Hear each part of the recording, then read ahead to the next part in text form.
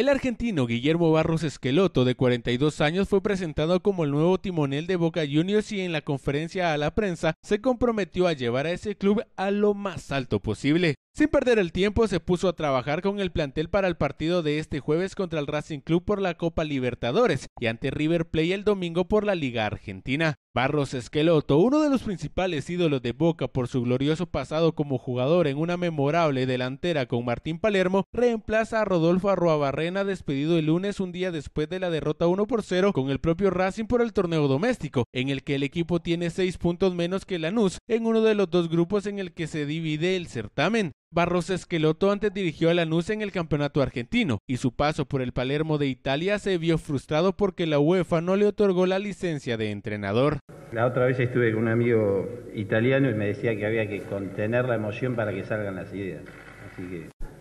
por eso estamos eh, sosteniendo las emociones porque entrar a la bombonera después de haber jugado 10 años y, y de haber logrado tanto y encontrarte con tanta gente de esos años es muy lindo, pero debemos tener los pies sobre la tierra y pensar en lo que viene. La prioridad es eh, hacer un buen partido mañana y ganar que en la Copa Libertadores local tenés que...